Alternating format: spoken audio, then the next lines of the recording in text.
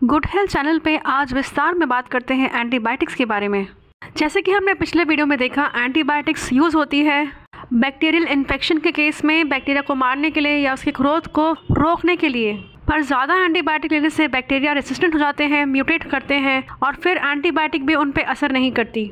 दूसरा प्रॉब्लम यह है कि कई सारे ब्रॉड स्पेक्ट्रम वाले एंटीबायोटिक्स अच्छे बैक्टीरिया को भी मार देते हैं। हमारे गट में यानी हमारे पेट में कई सारे गुड बैक्टीरिया होते हैं जो हमारे डाइजेशन में हेल्प करते हैं।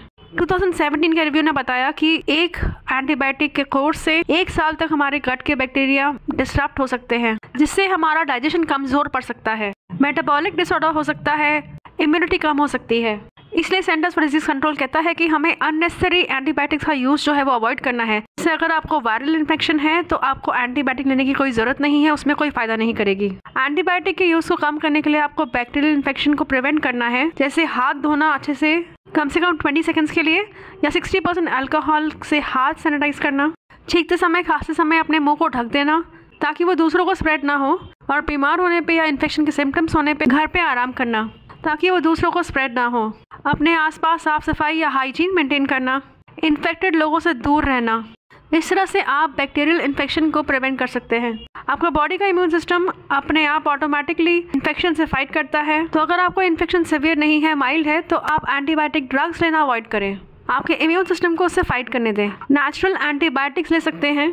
एक बैलेंस डाइट के रूप में, ये नेचुरल एंटीबायोटिक्स है गार्लिक यानी लहसुन, अदरक यानी जिंजर हनी यानी शहद क्लोव यानी लौंग, टर्मरिक यानी हल्दी, ओरिगानो, ये सब नेचुरल एंटीबायोटिक्स हैं। आपको बैक्टीरियल इन्फेक्शन प्रिवेंट करने में हेल्प करेंगे और माइल्ड इन्फेक्शन में भी हेल्प करेंगे।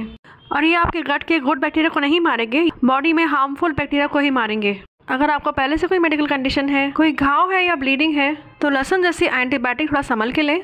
जैसे सर्जरी के टाइम पे, जैसे लहसुन जो है वो आपके खून को पतला करता है तो ज़्यादा खाने से आपकी ब्लीडिंग बढ़ सकती है। तो ये नेचुरल एंटीबायोटिक्स आप रोज थोड़ा थोड़ा ले सकते हैं। एक बैलेंस डाइट के साथ, या जब आपको माइल्ड इन्फेक्शन के सिम्टम्स दिख रहे हैं, तब आप नेचुरल एंटीबायोटिक्स ले सकते हैं। उसके बाद भी अगर आपका इन्फेक्शन बढ़ जाता है, कम नहीं होता तो आप डॉक्टर से कंसल्ट करके एंटीबायोटिक ले सकते हैं। तो समराइज करते हैं एंटीबायोटिक ड्रग्स का ओवर यूज़ ना करें अननेसेसरी यूज़ ना करें। बैक्टीरियल इन्फेक्शन को प्रिवेंट करें हाइजीन रखें हेल्दी बैलेंस डाइट खाएँ नेचुरल एंटीबायोटिक्स अपने बैलेंस डाइट में रखें, बैक्टीरियल इन्फेक्शन से बचें और एंटीबायोटिक के ओवर यूज़ से भी बचें। अपना और अपने परिवार का ख्याल रखें और स्वस्थ रहें।